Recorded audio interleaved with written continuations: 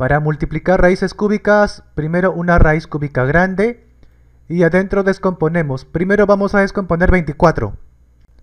Para descomponer al número 24, primero vemos si es que tiene mitad, o sea, si es que se le puede dividir entre 2. 24 entre 2, sí se puede, sale 12. 12 entre 2, también se puede, sale 6. Todavía se puede entre 2, así que 6 entre 2, 3. 3 ya no se puede dividir entre 2. Entre 3, sí, ¿verdad? 3 entre 3, 1. Ya quedó como 1. Así que, ¿qué números han aparecido por acá?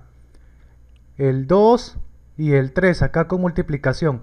El 2 apareció 3 veces. El 3 apareció una sola vez, así que exponente 1. O sea, resulta 2 al cubo por 3.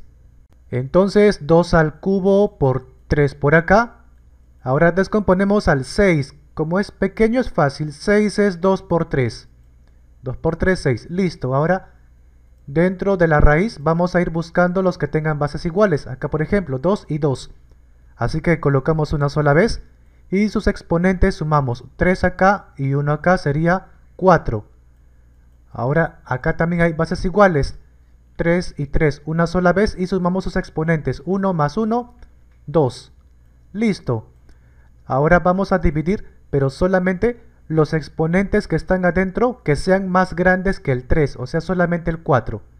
Así que 4 entre 3. División simple. 3 por 1, 3. 4 menos 3, 1. Listo.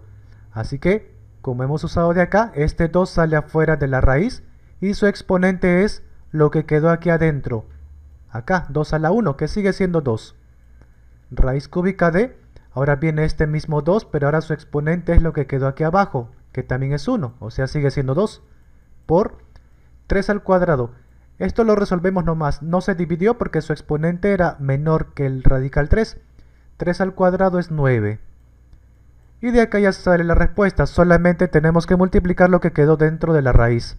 2 por 9, 18. Respuesta final. No olvides comentar lo primero que se te venga a la mente.